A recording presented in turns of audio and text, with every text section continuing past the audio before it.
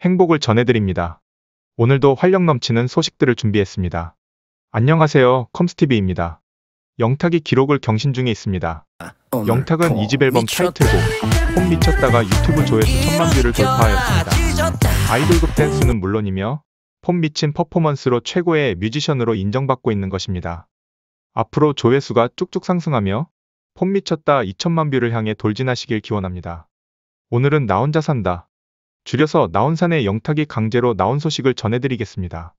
왜 영탁이 나 혼자 산다에 그것도 강제로 출연을 하게 되었을까요? 궁금하시면 끝까지 시청해 주시길 기원합니다. 바로 시작합니다. 4월 19일은 영탁이 삼성생명 연도상에 출전을 했습니다.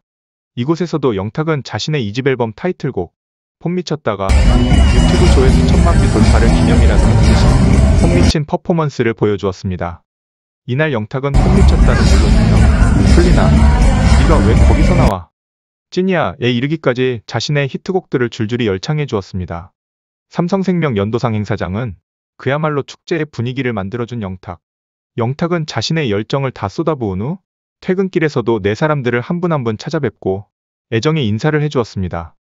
이렇게 영탁의 삼성생명 연도상 슈퍼 콘서트가 마무리되었습니다. 역시 유튜브 조회수 천만 뷰의 주인공이었습니다.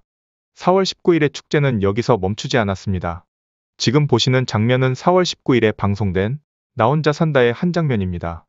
나 혼자 산다는 2013년부터 현재까지 진행되며 독신 남녀와 1인 가정이 늘어나는 세태를 반영해 혼자 사는 유명인들의 일상을 관찰 카메라 형태로 담은 다큐멘터리입니다.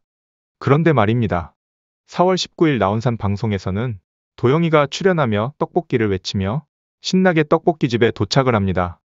도영의 최애 분식 포장마차로 24시간 영업하는 가게라고 합니다.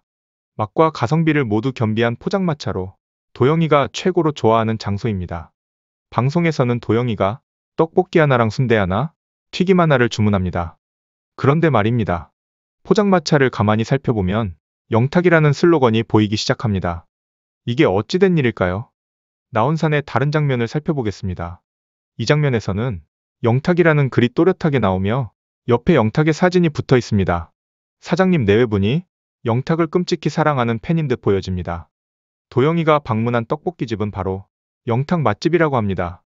이렇게 나 혼자 산다에 영탁이 강제로 출연하며 영탁을 사랑하시는 많은 분들이 이곳을 방문할 듯 예상됩니다. 이곳은 바로 노른산 시장으로 영탁 떡볶이 맛집으로 유명합니다.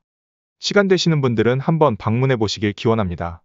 아마도 나혼산의 방송을 탄 후 줄 서서 먹어야 하는 영탁 떡볶이집으로 더욱 유명해질 것 같습니다. 오늘은 영탁의 폼 미쳤다 천만 view 돌파 소식과 삼성생명 슈퍼콘서트 소식, 나 혼자 산다에 강제 출연한 영탁 소식들을 전해드렸습니다. 앞으로도 즐거운 소식 많이 가져오겠습니다. 바쁘시더라도 좋아요, 구독, 알람 설정은 여러분들의 사랑입니다. 오늘의 소식은 여기까지입니다. 지금까지 시청해주셔서 감사드립니다.